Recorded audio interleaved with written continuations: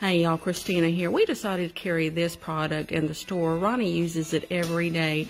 By Music Nomad, the Grip 1 is a winder cutter puller, and he likes it particularly because the winder on it fits any size tuner. Of course, there's the peg puller right there. But especially what he likes is the cutter on it. This is a strong cutter, and it cuts a clean cut. Uh, these retail for $16.99. Come see us. I'll get you hooked up.